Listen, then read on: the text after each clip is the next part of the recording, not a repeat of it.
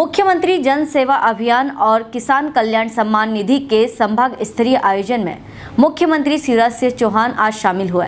दोपहर दो बजे हेलीकॉप्टर से हुए एसएटीआई कॉलेज के हेलीपैड पर उतरे। इसके बाद कृषि उपज मंडी मिर्जापुर में आयोजित कार्यक्रम में सम्मिलित हुए उनके साथ भाजपा के प्रदेश अध्यक्ष बीडी शर्मा, सांसद रमाकांत भार्गव, विदिशा ज़िले के विधायक गंजपाल सुदा श्रीमती लीना जैन, शमशाबाद श्रीराज, कुरबाई, हरिसिंह सपरे सहित अन्य जनप्रतिनिधि कार्यकर्ता मौजूद रहे। मुख्यमंत्री शिवराज सिंह चौहान के अलावा प्रदेश अध्यक्ष और संसद में भी जनता को संबोधित किया। कार्यक्रम के दौरान भोपाल संभाग और सागर संभाग के तमाम जिलों के हितग्राही भाजपा कार्यकर्ता भी शामिल रहे।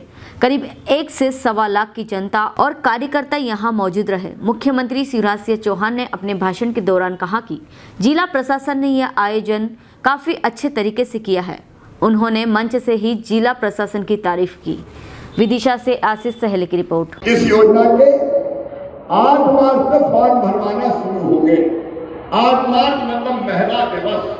बहुत आसान फॉर्म बनाएँगे। जिसमें नाम, पता, ऐसा कुछ नहीं बनाएँगे कि पता चले कि बहने चक्कर ही लगा रही कहीं नहीं जाने दूँगा। गाँव में ही और वार्ड में ही कर्मचारी आएँगे, भारतीय जनता पार्टी के कार्यकर्ता और नेता सब आएँगे, बीडी शर्मा जी, सबको भेज सब जाएँगे और भाई आसान फॉर्म भरवाएँगे। उसके बाद फिर पूरी सूची बनेगी। और सूची बनने के बाद दो तीन महीना में यह पूरी प्रक्रिया कर लूँगा और उसके बाद हज़ार रुपया महीना सीधे खाते में बहन के आएँगे। उसका बेहतर उपयोग करना।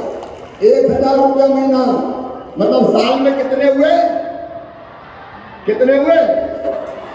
बारह हज़ार। और पाँच साल में कितने हुए? पाँच साल में कितने हुए? हज़ार। लेकिन बहनों, ये हेलो फ्रेंड्स आप देख रहे हैं हमारा channel S W twenty four news हमारे सारे वीडियो सबसे पहले देखने के लिए आप हमारे चैनल को सब्सक्राइब करें और पास में लगे बेल आइकोन को दबाना बिल्कुल भी ना भूलें।